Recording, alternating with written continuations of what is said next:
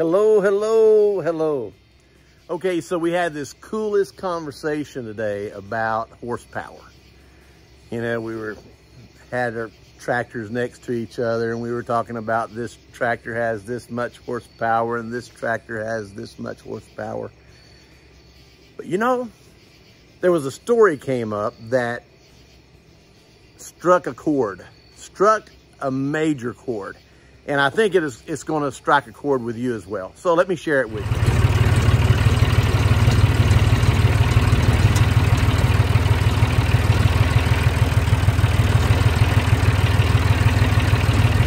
It's, it's a draft horse. It's, it's a horse that can pull a load. It's a farm horse. It's a, a horse that before they had tractors, before they had trucks, before they had machinery, they had horses. And the horses would pull the plows. The horses would pull uh, the logs out of out of the forest when they timbered. The horses would be the horsepower. One Belgian horse was known to have pulled, I mean, on average, they all pull about somewhere around up to 8,000 pounds.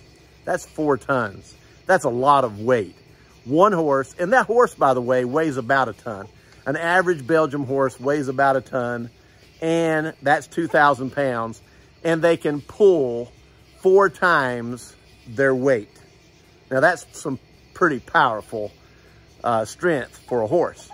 But this is not where it stops. You take two Belgium horses and you put them together, and do they pull 16,000 pounds because each horse has the ability to pull 8,000 pounds each. So if you put two Belgium horses together, do they have the ability to pull six, 16,000 pounds? Eight times two, 8,000 times two is 16,000. No. 22,000 pounds. That doesn't make sense. If one Belgium horse has the ability to pull 8,000, then two should only be able to pull 16,000. But that's not true. They can pull 22,000. And, and if those two Belgium horses are stalled together, they grow up together, they hang out together, they're fed together, they're constantly together, they have been known to have pulled up to over 50,000 pounds. Now, the point of this entire analogy is this.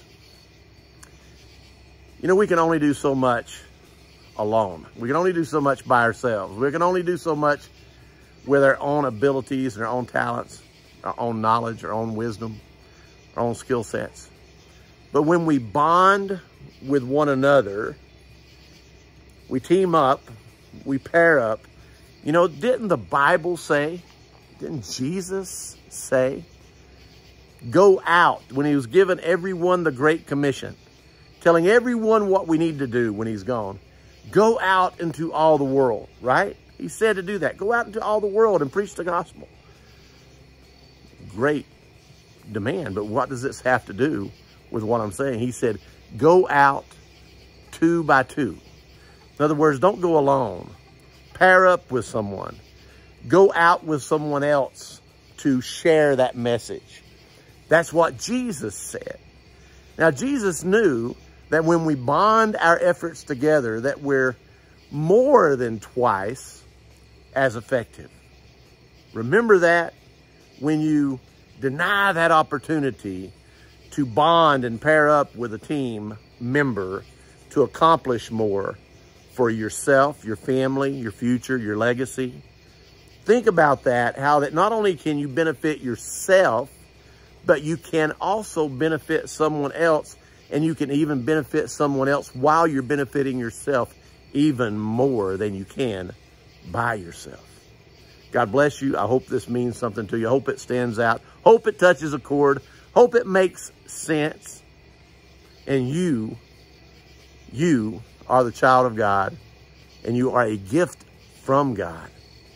Isn't that amazing that Jesus said go out two by two? Don't go alone. Go with someone else team up, pair up. The power of multiplication. God bless you.